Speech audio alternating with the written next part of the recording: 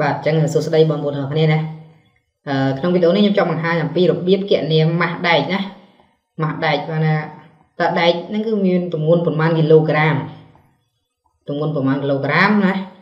ហើយយើងទិញមួយតោនបានប្រមាណដើមអញ្ចឹងទៅណាប្រមាណដើមព្រោះខ្ញុំក្នុងវីដេអូមុនខ្ញុំបានបង្ហាញអំពីរបៀបប្រើប្រាស់ដែកណាផ្លឹកដែកថាយើងអឺចាក់ធ្នឹមត្រូវប្រើដែកឲ្យប្រមាណគីឡូ1គីឡូអញ្ចឹងណា បាទឥឡូវខ្ញុំចង់បង្ហាញពីរបៀបគិតគីឡូដែកណាដើម្បីយើងនិយាយទៅទិញដែកណាកំងទិញដែកពីពីផ្សារមកណាពីហាងដែកហ្នឹងមកណាបាទឥឡូវខ្ញុំលើកយកដែកនេះទំហំ10លី12លីចុះចាប់ពី12លីទៅណាចឹងធម្មតាដែកកាលណាយើងទិញមកវារៀងបត់12អញ្ចឹងណាបត់12អញ្ចឹងហើយប្រវែងវាគឺប្រវែងស្តង់ដារវាគឺ12ម៉ែត្រណាមួយដើមមួយដើមគឺ12ម៉ែត្របាទតែបត់12អញ្ចឹងដែកណាបាទនេះដែកបត់ 12ចឹងមកចឹងខ្ញុំចង់រកថាតើក្នុងមួយដើមមួយដែកអាដែក12នេះមួយដើមមានទម្ងន់ប៉ុន្មានណាពួកអីដែកយើងទៅទិញវាដាក់តែຂະណាតទំហំទេដល់អត់មានដាក់ទម្ងន់ទេណានៅលើហ្នឹងណាចឹងជាទូទៅយើងត្រូវកណនីបានតាមរូបមន្តរូបជាណារូបជាត្រូវមន្តរូបជាបានណាប្រើមន្តរូបជានៅក្នុងហ្នឹងណាបាទរូបជានិតលាយមួយនិតជាចឹងទៅណាចានេះហៅថាមុខកាត់ដែកណាមុខកាត់ដែក ចឹងធម្មតាមកកាត់នេះគឺវាមានទំហំវាគឺ12លីណា12លីនេះយមើលនេះបាទនេះចាយវាដាក់ប្រហែល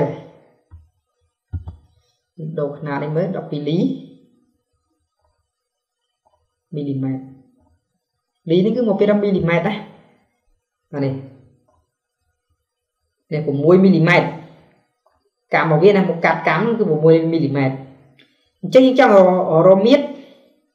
រមៀតយើងយកកាស្យូមកចុចមើលបាទនេះកាស្យូអញ្ចឹងមុនវងយើងរកកន្លះផ្ទៃមកកាត់សិនមកហើយបន្ទាប់នេះគុណនឹងប្រវែងអញ្ចឹង6មីលីម៉ែត្រនេះ6មីលីម៉ែត្រអញ្ចឹង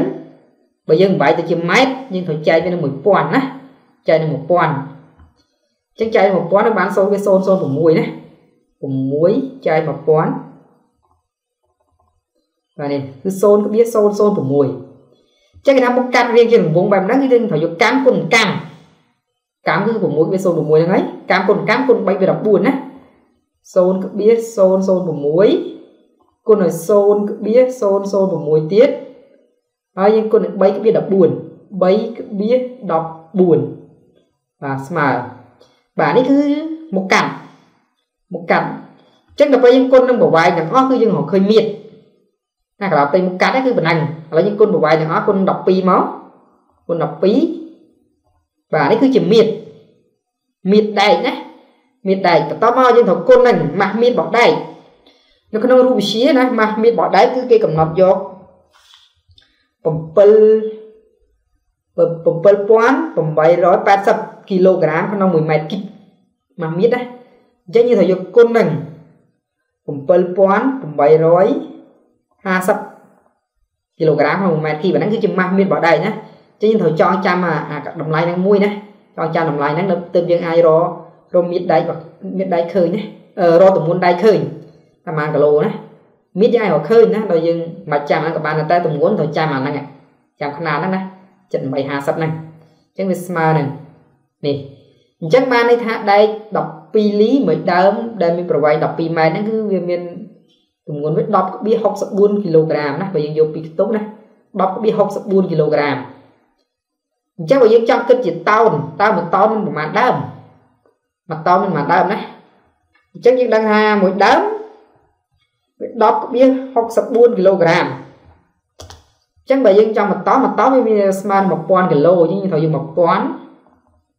ទៅចែកឲ្យ10.64ហ្នឹងមក64ណា គឺស្មើនេះអញ្ចឹងវាប្រហែលជា93ដើមណា93ជិត94ដើមហ្នឹងណាបាទអញ្ចឹងយើងគិតថាយើងអាចគត់ឡើងគឺវាមួយតោនគឺមាន94ដើមណាដៃ12លីណាមួយតោន94ដើមបាទឥឡូវយើងមកមើលដែក10អឺកែនេះដូចគ្នាណាខ្ញុំមកសាកកែនេះដែក20លីម្ដងនេះដែក20លីមួយនេះបាទនេះដែក20លីបាទមកកាត់វានេះរៀងជារង្វង់ណា គេសន្មតថាវារៀងជារង្វង់មកកាត់ដែកណារៀងជារង្វង់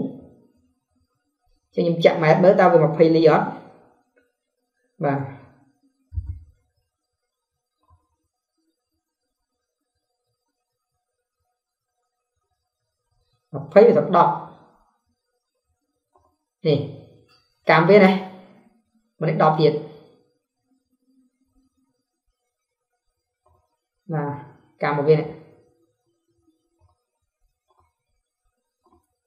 បាទអញ្ចឹងមុខកាត់របស់វានេះគឺកម្មមានកម្មស្មើនឹង10 10លីណា10លី10លីបាទណា10យើងយើងគិតថាប្រវែងទាំងអស់20 20លីយើងកម្មគឺត្រូវចែកទៅ2ណា10លីបើ10លីយើងមកដើមវាមានប្រមាណគីឡូកាសចូលមកចុចមើលទៀតមកអញ្ចឹងកាលាពេញកំពុងយើងប្រើដូចមុនដែរកម្មគុណកម្មគុណ3វា14បាទកម្មនេះគឺយើង10 10យើងចែកជាមួយនឹង1000នៅសល់0.001ណា 10ចែក1000មកយើងចែកដើម្បីគិតជាម៉ែត្រណាចែក1000នឹងដិតជាគឺ0វា0 0វា01ណា0វា01ម៉ែត្រតោះយើងកម្មគុណកម្មអញ្ចឹងគុណនឹង0វា01ទៀតមក0ក្បៀស01ទៀតមកហើយគុណនឹង3ក្បៀស14 3ក្បៀស14បាទហើយគុណនឹង12ម៉ែត្រគុណនឹង12ម៉ែត្រប្រវែងហើយយើងគុណជាមួយនឹងម៉ាស់មីតដែរគឺ 7850គីឡូក្រាមក្នុង1ម៉ែត្រគីបឃើញបាទនេះអញ្ចឹងដែក10 20លីគឺមកដើមទម្ងន់វារហូតដល់29.57គីឡូក្រាមណា29.57គីឡូក្រាមមកដើមណាចឹងបើយើងចង់គិតជាតោនគិតតោនបាទ មួយតោនវាមានប្រមាណគីឡូអឺប្រមាណដើមណាអញ្ចឹងមួយតោន1000គីឡូយើងយើងត្រូវយក1000គីឡូចែកឲ្យ29វា57ឡើងមកវា1000ចែកឲ្យ29វា57ស្មើចឹងមកតោនយើងបានតែ33ដើមដល់33ដើមចិត្ត34ដែរណាខ្វះបន្តិចទេចិត្ត34ហើយបាទ ចឹងដែកនេះអានេះគឺជាការកណិតដែកប្រភេទដែកឆ្នាំងកំពៅណាដែកតាន់បាទគីឡូម៉ាស់របស់ដែកតាន់ណានេះគឺជាវីដេអូ 3D ដែលខ្ញុំលើកយកមកបង្ហាញបងប្អូនទាំងអស់គ្នាណាចែកលែកដល់បងប្អូនទាំងនេះជាចំណេះទាំងមួយណាអញ្ចឹងក្នុងវីដេអូនេះគឺមានតែប៉ុណ្្នឹងទេណាបាទវីដេអូមានប៉ុណ្ណឹងទេណារបៀបកណនាម៉ាស់វត្តដែកណាអញ្ចឹងអរគុណសម្រាប់ការទស្សនានេះជួបគ្នានៅវីដេអូក្រោយណាជួបគ្នានៅវីដេអូក្រោយ